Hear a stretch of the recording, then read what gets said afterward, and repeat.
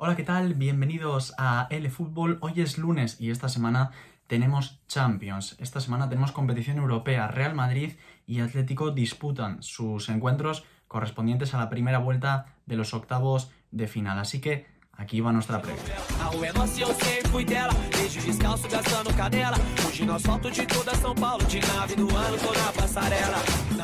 Empezamos con el Atalanta-Real Madrid, el encuentro que se disputa este próximo miércoles, día 24, a las 9 de la noche. Un encuentro al que el Real Madrid llega tras cosechar una sufrida victoria el pasado fin de semana en Pucela ante el Real Valladolid. Un encuentro una victoria, mejor dicho, que los mantiene vivos en la pelea por la liga, por el campeonato doméstico, tras el pinchazo, recordemos, del Atlético de Madrid por 0 goles a 2 eh, contra el Levante en el Wanda Metropolitano. Los blancos viajan a Bérgamo con hasta nueve jugadores de la primera plantilla en la enfermería, por lo que Zidane tendrá que reajustar su convocatoria con miembros del Real Madrid Castilla. Entre los jugadores eh, que estarán ausentes para este partido encontramos los nombres de Dani Carvajal, Sergio Ramos, Eden Hazard, Fede Valverde o el último en sumarse a la lista de, de la enfermería, el goleador eh, por excelencia del Real Madrid en esta competición, Karim Benzema, que con, como digo, con cuatro dianas es el máximo artillero de este equipo en la Champions League. En un principio el Real Madrid parte como favorito en este encuentro, bien por historia, bien por calidad y porque sabemos cómo es el conjunto blanco en esta competición, cómo es el espíritu de los merengues, pero no pueden desde luego confiarse porque enfrente tendrán un hueso duro de roer, como es el Atalanta de Gasperini. Un Atalanta que llega al encuentro con la moral por los aires tras imponerse este mismo fin de semana por cuatro goles a dos al Napoli de Gennaro Gattuso. Un Atalanta que ha sabido sobreponerse a la marcha de su jugador estrella, de su jugador franquicia, el Papu Gómez, que recordemos abandonaba Bérgamo el pasado mes de enero para incorporarse a las filas del Sevilla de Julen Lopetegui. Eh, se ha recompuesto gracias sobre todo al estado de forma de Duan Zapata y de Luis Muriel, los máximos artilleros de este equipo que forman ahora mismo una dupla espectacular. Por eso decimos que el Real Madrid no puede desde luego confiarse. Ya hemos visto al Atalanta esta misma temporada cargarse al Milan, que este año está haciendo una gran campaña, o en esta misma competición en la Champions cargarse ni más ni menos que al Liverpool de Jürgen Klopp.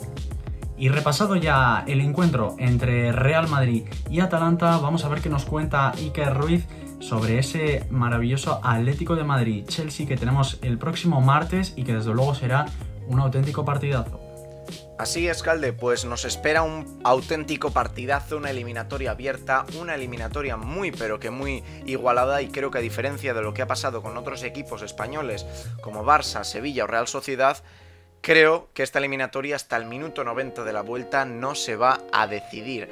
Metiéndonos un poco más en terreno colchonero, lo que está claro es que el Atlético de Madrid este 2021 no está jugando como jugaba en octubre o noviembre del año pasado, en meses en los que daba una imagen de equipo sólido, de equipo prácticamente invencible.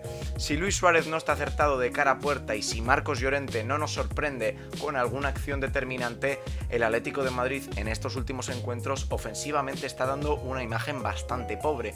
A esto hay que sumarlo los errores que están cometiendo en defensa, fallos de concentración, errores en los despejes, acciones como la de Condogbia el otro día frente al Levante que no se pueden hacer en un partido profesional y que son el causante de que el Atlético de Madrid lleve siete partidos consecutivos encajando gol, lo cual en un equipo del Cholo Simeone es bastante, bastante raro. Además, en los últimos cuatro partidos ha perdido un total de siete puntos, eh, lo cual eh, en esta carrera entre la de Real Madrid y Barcelona por la liga son puntos cada vez más y más valiosos.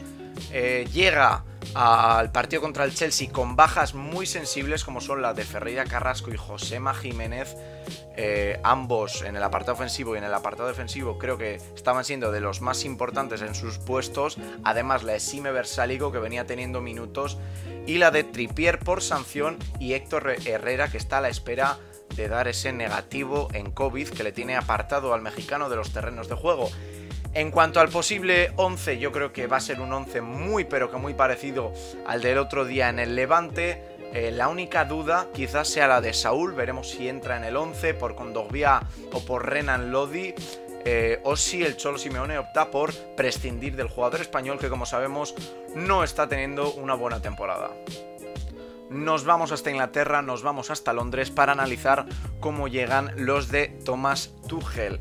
Desde la llegada del técnico alemán, el equipo está consiguiendo muy buenos resultados. En los últimos 8 partidos ha ganado 6 y ha empatado 2, dejando la portería a cero en 5 ocasiones. Aún así, en el último partido ante el Southampton, a pesar de algunas buenas noticias como el buen rendimiento de N'Golo Kanté, sí que en algunas fases del partido eh, la imagen que dieron los Blues fueron de equipo un tanto inestable. En el 11 nos quedan algunas dudas como, la de quién jugará en la portería. Está claro que Mendy es el titular en Premier League. Veremos si juega Kepa, con Frank Lampard venía jugando de titular. Veremos si Thomas Tuchel también eh, utiliza el portero español para este partido. La otra duda es en el centro de defensa no se sabe si llegará Thiago Silva, todo apunta a que no, entonces la duda queda entre Christensen y Zuma. Si finalmente llega Thiago Silva, yo creo que será el brasileño el que juegue junto a Spilicueta y Rudiger.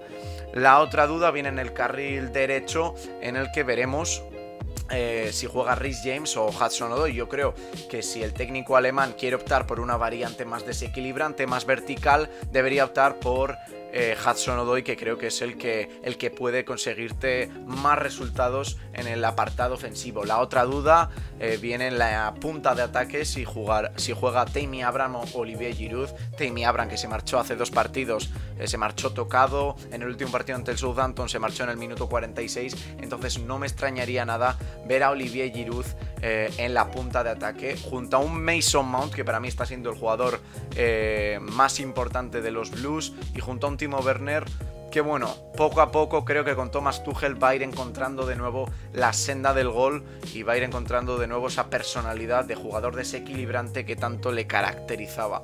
Así que bueno, eso es todo, chicas y chicos, esta pequeña previa. Espero que os haya gustado, que os haya sido útil y muchas gracias por vuestro apoyo diario. Suscribíos, activa la campanita, dale a like para más vídeos que nos lo estamos currando y recordad que la vida nos pille en fuera de juego. Un saludo.